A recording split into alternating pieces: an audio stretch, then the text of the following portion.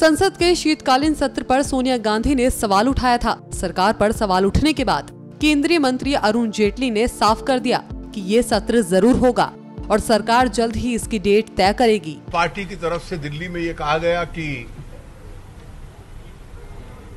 NDA की सरकार संसद के सत्र से भाग रही है। इतना ज्ञान कांग्रेस पार्टी के नेतृत्व को होना चाहिए। कि कांग्रेस शासन में भी जब जब चुनाव होते थे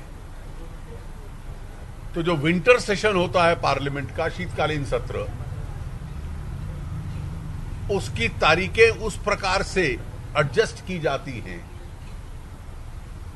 कि वो चुनाव के साथ ओवरलैप ना करें। क्योंकि राजनीतिक नेतृत्व चुनाव में व्यस्त होता है। जनता के समक्ष जाना और चुनाव में समक्ष जाना राजनीति का एक मूल्य कार्य होता है। और इसलिए जब सारा नेतृत्व, सभी सांसद जनता के बीच में हो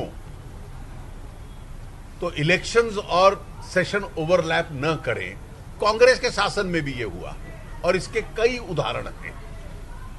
इसलिए निश्चित रूप से शीतकालीन सत्र होगा।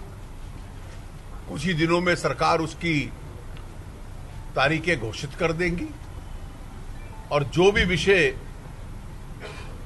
सरकार की तरफ़ से होंगे या विपक्ष चाहेगा, निश्चित रूप से उनके ऊपर चर्चा होगी।